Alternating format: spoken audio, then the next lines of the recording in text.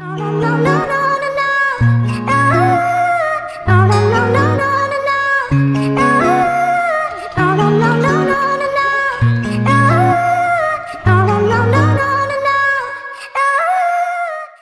guys, it's your girl Jay Antonette and welcome back to another video. So in this video today guys, I'm finally gonna be reviewing the luxury collection from Bath and Body Works for you. They actually listed and brought out 10 scents, but I only purchased nine because the Santal, I, y'all, this girl just can't get into it okay? I can't get into it. Um, I don't know what it is about it but i just can't. So i do have the other nine. We're going to talk about them. We're going to review them. I'm going to tell you what they smell like to me to me because i have gotten a chance to wear all of them. I've been wearing them to bed. I've been trying to you know feel them out and stuff like that. So I have gotten the chance to wear them already. So we are going to be talking about that today. So if you are new here, welcome to the channel. My name is Jayantonette. On this channel, we talk about anything that's going to make you smell good, look good, and feel good. That's what this entire channel is about.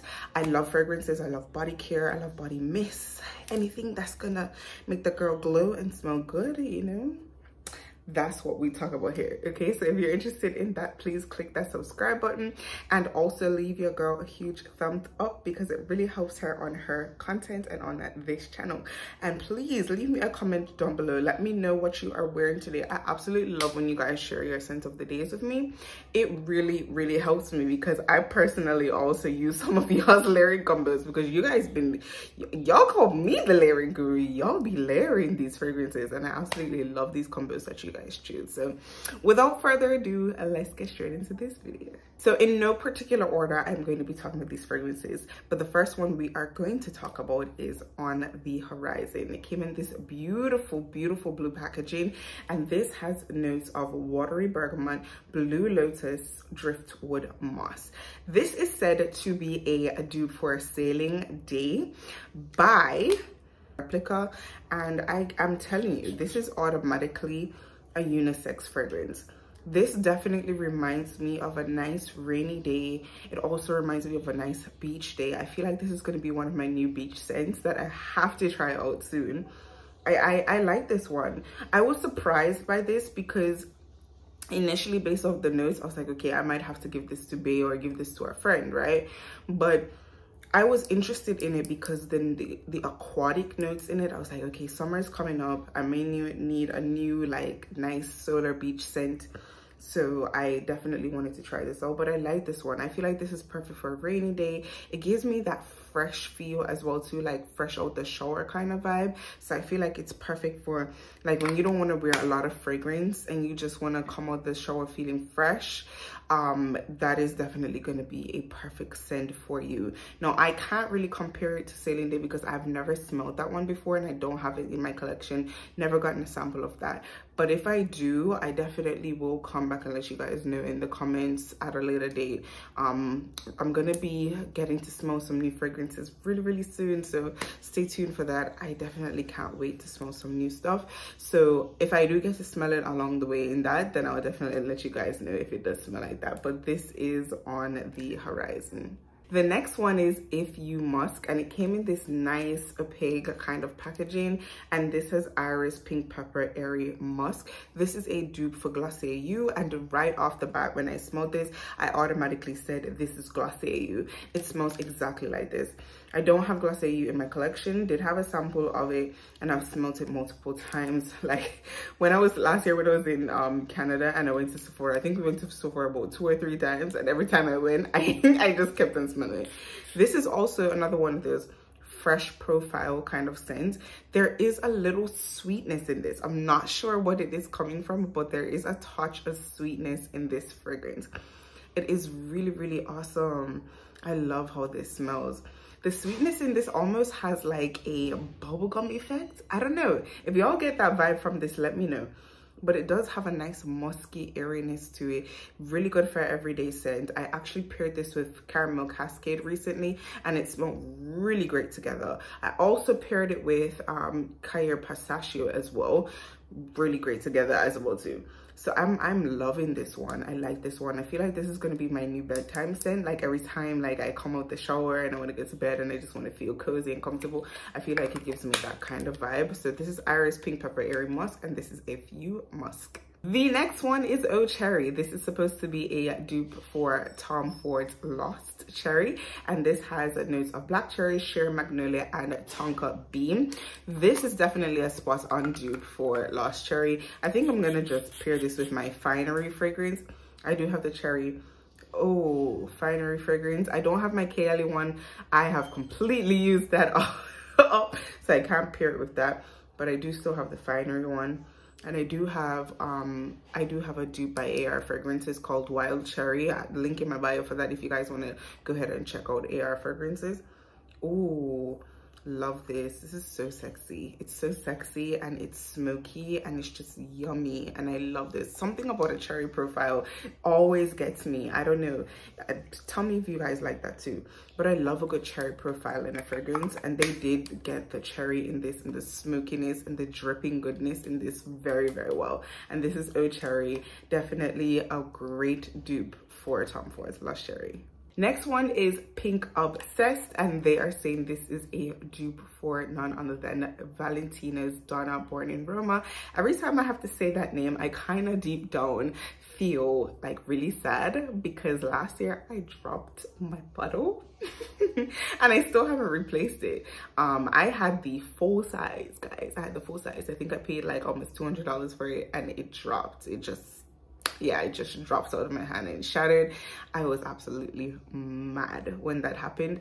But we move and we keep going. So this is supposed to be a do for that. I absolutely love that fragrance.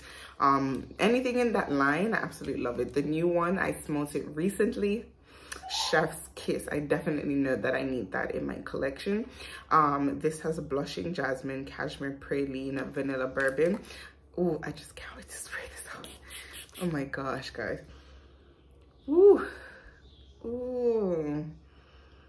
This is giving what it's supposed to give. Pink obsessed. Mm, mm, mm, mm, mm, mm, mm. She is that girl she is that girl. She's just gonna always be that girl. This dna is to die for. It is so beautifully done and it smells so good to be a body mist. Y'all if you guys want good body mist you definitely need this collection okay? You need the luxury collection. This is so good and it's such a spot on. This is what i was very concerned about. I when i first heard about this collection i was like are these really gonna be spot on dupes like I hear what y'all saying, but are they really? And they did the do, okay? These are spot on. These are so spot on. I love this. Oh my gosh, I can't wait to wear this one again.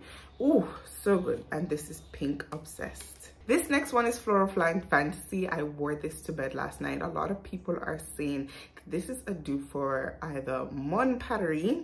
Then people are saying that it is a dupe for Viktor and Rolf. But for me, I get Carolina Herrera's Good Girl DNA out of this. Let me know down below which one it smells like to you. I wore this to bed last night. It didn't really last super, super long, but it did smell super, super good. I kind of got a faint smell on it when I woke up this morning when I had it on my um my shirt I was wearing to bed. It kind of was on it faintly but this is such a huge florally kind of fragrance. This is peach osmanthus, jasmine, and warm patchouli. And believe me when I tell you, you get that patchouli in this. Oh no, I, I poured too much into the cap. You do get that patchouli in this. You definitely get it. It's there, it stands out, and it's it. So if you don't like patchouli, do not pick this up, okay?